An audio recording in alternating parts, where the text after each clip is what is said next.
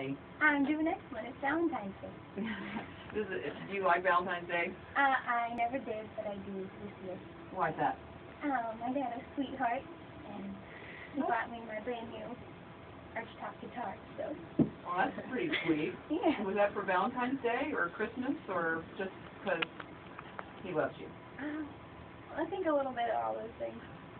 That's pretty nice. So we got Sally Rose uh, in the WNRN studios, but it's been a year uh, since you put out your most recent album.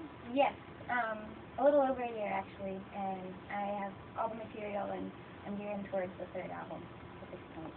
And are you already are you already recording it or? I'm not recording yet.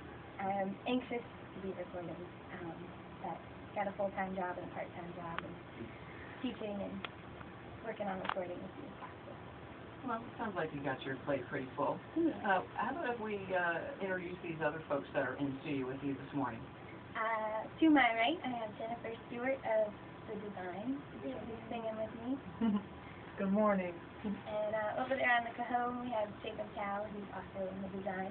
Good Morning. And and the design is your backup band? Uh, no, they are their own awesome alternative funk rock, soul, R&B, jazz band, and they rock Charlottesville, and they're just playing with me because they're my friends. Well, that's, We're that's nice. pleased. Well, um, we're gonna get to what's happening tonight at the Southern uh, in just a moment. But how about if you give us a song first? What are you gonna do uh, All right, first uh, off? this one's called Ain't Cho Suga. Thank